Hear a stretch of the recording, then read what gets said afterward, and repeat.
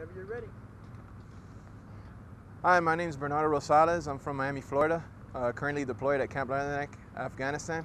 Just wanted to wish everybody back home a happy holidays and a Merry Christmas.